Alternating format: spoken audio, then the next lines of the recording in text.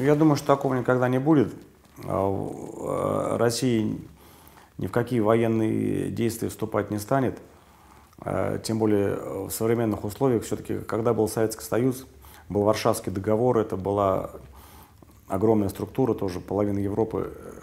А сейчас мы практически в одиночку противостоим там, э, такому огромному там, воен, тому же военному блоку НАТО там, и всех этих стран, которые там окружают.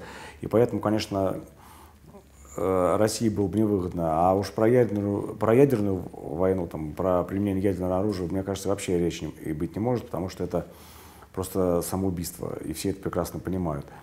Вот, и поэтому я думаю, что никаких э, военных действий, таких вот серьезных военных действий не будет.